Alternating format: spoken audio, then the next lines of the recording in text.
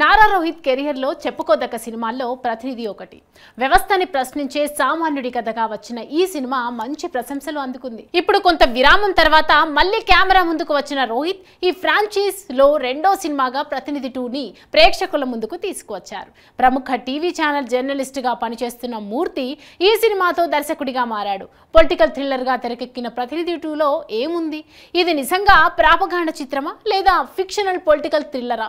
ఇందులో చూపించిన అంశాలు ప్రేక్షకులను ఎంత మేరకు ఆకట్టుకున్నాయి అనేది యోయో రివ్యూలో తెలుసుకుందాం. ప్రతినిధి టూ స్టోరీ విషయానికి వస్తే ప్రజా శ్రేయస్సు పార్టీ అధినేత రాష్ట్ర ముఖ్యమంత్రి ప్రజాపతి అంటే సచిన్ ఖేడ్గర్ ప్రజలకు పలు సంక్షేమ పథకాలని అందించి రెండో దఫా ముఖ్యమంత్రిగా కొనసాగుతూ ఉంటారు. ఓ రాత్రి క్యాంప్ ఆఫీసులో పనిచేస్తుండగా ఎవరో దుండగురు చేసిన బాంబు దాడిలో ప్రాణాలు కోల్పోతాడు ప్రజాపతి.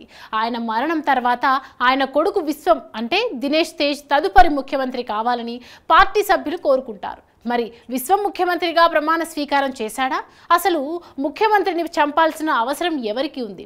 ఆయనకి ఉన్న శత్రువులు ఎవరు ఈ కేసులో NCC news channel CEO Chetan అంటే నారా రోహిత్ పాత్ర ఏమిటి? కేసును విచారించిన సిబిఐకి ఎలాంటి నిజాలు తెలిసాయి? అనేది తెలియాలంటే థియేటర్స్కి వెళ్ళి సినిమా చూడాల్సిందే. ప్రతినిధి టూ విశ్లేషణ విషయానికి వస్తే నిజం చెప్పడం కోసం ప్రాణాలని సైతం తెగించే ఓ నిజాయితీ గల జర్నలిస్ట్ కథ ఇది. నిజ జీవితంలోని సామాజిక రాజకీయ అంశాలకు ఫిక్షన్ని జోడించి ఓ పొలిటికల్ థ్రిల్లర్గా ఈ కథని రాసుకున్నారు. సీఎం క్యాంప్ ఆఫీస్లో బాంబ్ బ్లాస్ట్ సన్నివేశంతో కథ ప్రారంభమవుతుంది.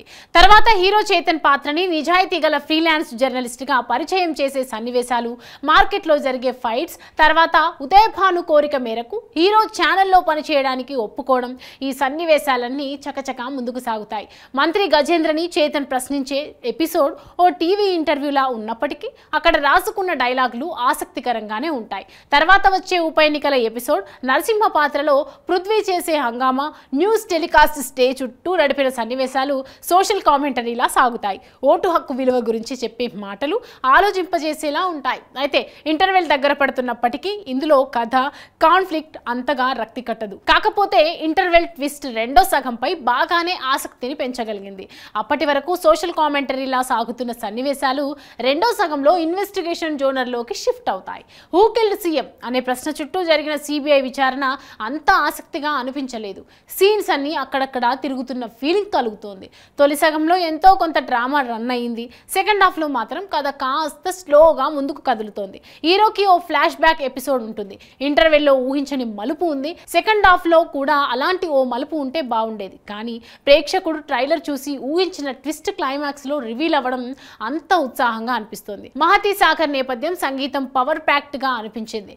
కెమెరా పనితనం బాగుంది. ఎడిటింగ్ పదునుగానే ఉంది. ముందుగా చర్చలోకి వచ్చినట్లుగా ఇది పొలిటికల్ ప్రాపకండ సినిమా అయితే కాదు. ఒక నటీనటుల యాక్టింగ్ విషయానికి వస్తే నారా రోహిత్కి కంబ్యాక్ సినిమా ఇది. తన యాక్షన్ డైలాగ్ డిక్షన్ మునుపటిలానే ఉంది. యాక్షన్ సీక్వెన్స్లు కూడా బాగా చేశారు. క్లైమాక్స్ ఫైట్ పొగ ఎఫెక్ట్లో వచ్చే యాక్షన్ సీన్స్ బాగుంటాయి. అయితే ఆయన లుక్ కొంచెం బొద్దుగా ఉంది. ఈ పాత్రకు ఓకే కానీ మున్ముందు రాబోయే సినిమాలకి మాత్రం తన ఫిజిక్ పై దృష్టి పెట్టాలి.